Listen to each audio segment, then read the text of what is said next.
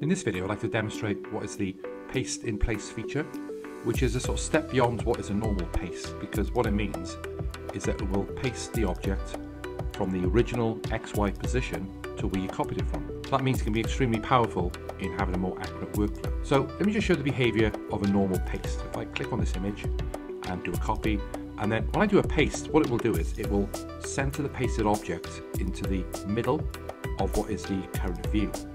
So you can see that, yeah, that's very accurate in regards to where it's supposed to end up being pasted. But maybe you want to have it so that it's in the exact same XY position, like to go into this particular frame on the preceding page. So what I could do is I could cut that.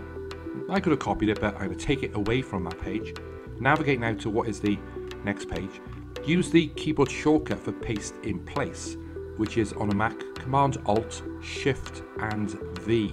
And on Windows, it's Control Alt, Shift and V. So I'll do that keyboard shortcut and you can see now it's in the same exact XY position to where it was cut from on the previous page. Okay. Now if I navigate up now to what is page one, I want to actually take this image from its position on page one and basically put it onto page two and then take the image on page two and sort of cut and paste it onto page one.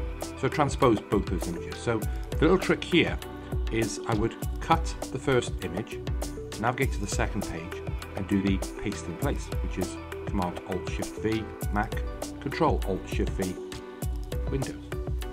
Now it's pasted on top of the other image, which is now underneath it. So if I open up the layers panel, at the minute I've got image ending in 042, okay, being selected. So what I can do is I can basically select the image underneath it by clicking in this sort of area on the right hand side in the layers panel, which selects the image underneath.